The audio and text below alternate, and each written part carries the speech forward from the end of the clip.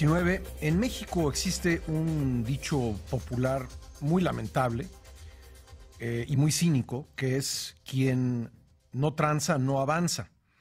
Y para remar en contra de esta concepción, pues se creó hace tres años a nivel nacional el movimiento Avanza sin Tranza. Es un proyecto nacional nacido en Ciudad Juárez que busca lograr en la sociedad civil el que mediante una decisión voluntaria, meditada y consciente, la persona decida no participar en actos de corrupción en cualquiera de sus formas. Como le digo, este verano cumple tres años de haber sido lanzado el programa a nivel nacional, Avanza sin Tranza, libres de corrupción, y cuatro de que se emprendió en Ciudad Juárez, como le cuento, la sede del nacimiento de este proyecto. Eh, Avanza sin Tranza fue concebido por un grupo de juarenses cuya única intención era crear conciencia en contra de la corrupción entre los ciudadanos y las autoridades del gobierno municipal de entonces, que era presidido por Enrique Serrano. Tengo la línea telefónica a quien preside este proyecto, a quien lo concibió, el periodista Daniel Valles. Daniel, me da gusto saludarte. Buenos días. Buenos días, Pascal. Qué gusto saludarte a ti y a todo el auditorio de Imagen Radio. A tus órdenes. Eh, Oye, pues veo cómo va avanzando, avanzan, avanza sin tranza, va avanzando a nivel nacional.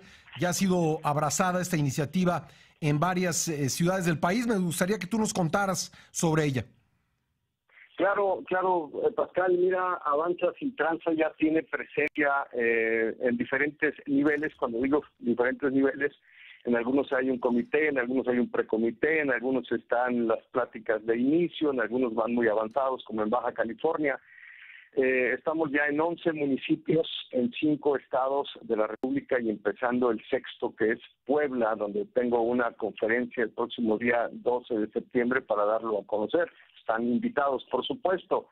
El programa ha sido abrazado eh, por eh, la Universidad Autónoma de Baja California, eh, para llevarlo a sus administradores funcionarios de primer nivel y se estudia y se hace ya el trabajo para llevarlo al tronco común para 67 mil alumnos.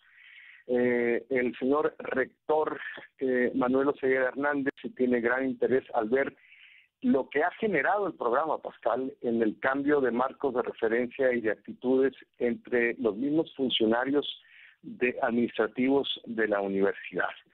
Eh, el programa se ha establecido también eh, desde hace año y medio en el Tribunal Superior de Justicia de Morelos, donde la magistrada María del Carmen eh, y, Cuevas ha, sido quien ha protagonizado el, el, programa. Cuando me contactó la magistrada Pascal, yo le puse un requisito, le dije, con mucho gusto, magistrada, pero empezamos con usted y con los magistrados. De otra manera, no me interesa el programa. Cosa que eh, fue muy bien recibido por los oficiales judiciales, como podrás imaginarte. Eh, al mismo tiempo, en Mexicali eh, hay otra universidad particular, el Grupo Educativo 16 de septiembre, que lo abraza para llevarlo a sus preparatorianos. Buscamos con esto, como bien dijiste, Pascal, el poder hacer que la persona haga una decisión consciente, voluntaria, meditada, libre y que le genere actos en pro de la integridad. La integridad es una herramienta de primer grado que cambia los parámetros eh, de, los marcos de referencia de las personas. Las leyes, que son buenas, son elementos de segundo grado, imposibilitados para hacer tal cosa. De ahí que eh, los esfuerzos que hacen los gobiernos en el mundo, no solamente en México, por combatir este flagelo, eh, se ven impedidos en lograr el, éxito que se busca en los ciudadanos, eh, porque no usan la, herramienta adecuada.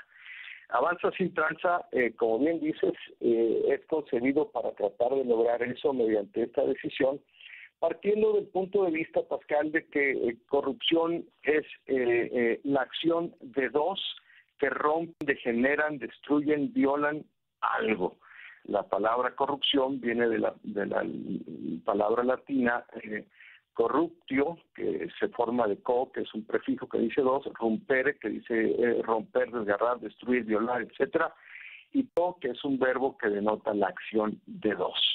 Entonces, por eso queremos sacar a uno de la ecuación, Pascal, para ver si para ver si en unos años le damos la vuelta a la tortilla.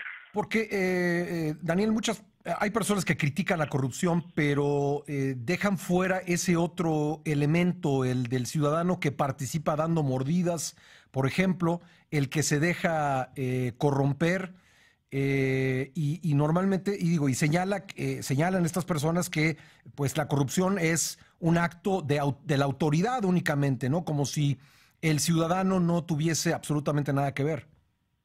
Eso es correcto, eh, Pascal, porque eh, es muy fácil señalar al de enfrente o señalar al gobierno, pero como le digo siempre a la gente, más de más de seis mil personas que ya han pasado por los seminarios y talleres, eh, les digo de qué se nutre, de dónde se nutre un gobierno, un partido político, de dónde salen los funcionarios, dónde, de dónde salen los administradores, pues salen de la sociedad. Pues sí, no llegan de Marte, ¿verdad?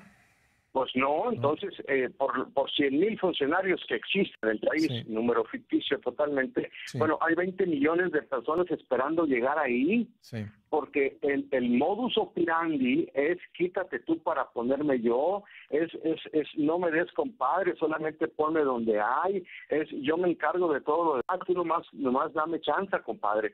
Entonces, todo este tipo de cosas, eh, hay gente que no está de acuerdo con la, con la premisa de que la, la, la corrupción es cultural, porque habrán de incluirse ellos mismos, ¿verdad? Entonces, pero la verdad es de que eh, eh, como hay un American Way of Life, eh, hay un Mexican Way of Life, y la manera de, de, trabajar en México es mediante la palanca, mediante el amigo, el compadre o la comadre, porque ellas también tienen su corazoncito, eh, eh, y es la manera como hacemos las cosas. Eh, es muy fácil agarrar el teléfono y decir, a ver, ¿a quién tenemos en la Secretaría? Pues, que nos eche la mano, que nos mete el hombro. oye, Daniel, ¿y qué, opinas del, del, siguiente argumento? Porque hay personas que, que, que, dicen, bueno, pues sí, estoy de acuerdo que los ciudadanos participamos en la corrupción, pero nos vemos obligados a hacerlo porque nos ponen tantas trabas.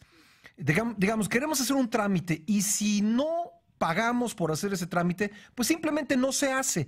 Eh, ¿Qué, le dirías a las personas que justifican de esta manera la participación de los ciudadanos en actos de corrupción eh, como, como mordidas? Sí, es correcto lo que dices, eh, Pascal. Cuando nacemos es como las, en las calles, ya están ahí, ¿verdad? Es como el aire, ya está ahí. entonces el sistema en el que nos movemos está diseñado para eso, para que la gente se exaspere y busque la manera cómo hacerlo y cómo pagar la mordida, la dádiva. Por eso, para poder combatirlo efectivamente, hay que hacer una decisión, como ya lo dije, consciente, voluntaria, mediterránea, libre y que genere hábitos, aunque vaya en contra de nuestro de nuestro bienestar en, en ese momento, porque de otra manera no se puede parar. la, la corrupción es, es como el excremento. En cuanto toca el agua, ya no puedes beber el agua. Pero la gente no lo ve así, la gente trata de filtrarla, la gente trata de echarle cloro, la gente trata de suavizarla, o de entrar en, en, el, en, el, eh, en lo gris, en las áreas grises. Y como nuestras leyes tienen o lagunas o áreas grises, bueno, pues, pues hay que buscarle cómo hacerle, ¿verdad? Entonces, eh, pero es posible, Pascal. Uganda cambió, cambió su sistema en ocho años eh, de corrupción. Eh, lo, lo, hizo por medio de, un programa similar que Allen Cayina, una buena amiga, llevó a cabo cuando fue ministra de Hacienda en la Secretaría de Hacienda. Singapur es conocidísimo el caso de Singapur, les tomó 50 años de la vuelta a índices de corrupción mayores que el de México. Oye, ¿cómo eh, se puede encontrar información de Avanza eh, sin tranza la gente que quiera eh, pues invitarte a dar una conferencia o quiera participar de algún otro modo en este proyecto nacional? ¿A dónde tiene que acudir, Daniel? Es sencillo, Pascal, la página avanzasintranza.com, avanzasintranza.com está responde todas las preguntas. En Facebook también tenemos una plataforma, hay varias páginas de varios estados que están ahí. Eh, o bien eh, al correo ast.nacional, repito, ast.nacional arroba gmail.com. Ahí está toda la información, les podemos poner en contacto con cualquier eh, necesidad que tengan. Pues Daniel, te agradezco mucho que me hayas tomado la llamada. Al contrario, Pascal, a la orden, y si fuera posible, cuando esté por México, me gustaría pasar a saludarte. Por supuesto que sí, aquí, aquí te recibimos con muchísimo gusto. Gracias, Daniel. Un abrazo, Pascal, hasta pronto. Un abrazo, Daniel Valles, periodista que creó este movimiento nacional Avanza sin tranza, que como ya escuchamos afortunadamente está avanzando en varios estados del país.